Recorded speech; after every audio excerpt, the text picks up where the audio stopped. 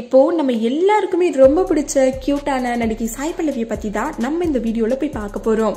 சாய் பல்லவி தெலுங்குல நடிக்க உள்ள சூப்பர் ஹிட் தமிழ் படத்தோட ரீமேக் கேரக்டர் குறித்து ரசிகர்கள் ரொம்பவே கவலை அடைஞ்சிருக்காங்க.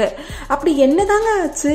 நம்ம தல அஜித் ஸ்ருதி ஹாசன் லக்ஷ்மி மேனன் இந்த மாதிரி பலர் நடித்து தமிழை ரிலீஸ் ஆகி ரொம்ப பெரிய சக்சஸ் அடைஞ்ச படம் தான் வேதாளம்.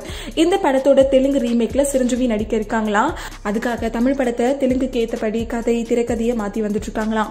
ஸ்கிரிப்ட் வேலைகள்லாம் ஏறக்குறைய முடிஞ்சிருச்சா அதை படித்து பார்த்த சிரஞ்சீவியும் இப்போ ஓகே சொல்லிட்டாரா ஸோ நெக்ஸ்ட் சிரஞ்சீவி தவிர மற்ற கேரக்டருக்கான தேர்வும் இப்போ ஆலோசனை நடந்து வந்துட்டு இருக்கான் அதனால நடிப்புல நல்லா பேர் எடுத்திருக்க குடும்பத்து ரசிகர்களையும் தெலுங்குல கவர்ந்துள்ள நடிகை நடிச்சா நல்லா இருக்கும் அப்படின்னு தமிழ் நடிகையான சாய் பல்லவி பெயரை பரிந்துரை செஞ்சிருக்காங்களாம். ஸோ அவங்களுக்கு தெலுங்குல ஒரு நல்ல இமேஜ் இருக்கு. சிஸ்டர் கேரக்டருக்கு இவங்க தான் பொருத்தமா இருப்பாங்க அப்படின்னு படக்குழுவினர் டிசைட் பண்ணிருக்காங்க. சாய் பல்லவி கிட்டயும் இதை பத்தி பேச்சுவார்த்தை ஸ்டார்ட் பண்ணிட்டாங்களாம். என்னது? சாய் பல்லவிக்கு சிஸ்டர் கேரக்டரா வேண்டாம் வேண்டாம் ப்ளீஸ் அதெல்லாம் நாங்க ஒத்துக்கவே மாட்டோம். அதை பார்க்குற சக்தி எங்களுக்கு சுத்தமா கிடையாது அப்படின்னு சாய் பல்லவிக்கு ரசிகர்கள்லாம் கோரிக்கை வச்சுட்டு வந்துட்டு இருக்காங்க. ஹாய் வியூவர்ஸ் உங்களுடைய போரிங் டைமை என்டர்டைன்மெண்ட்டாக மாற்றுறதுக்கு மறக்காமல் தமிழ் காசப் சேனலை சப்ஸ்கிரைப் பண்ணுங்க.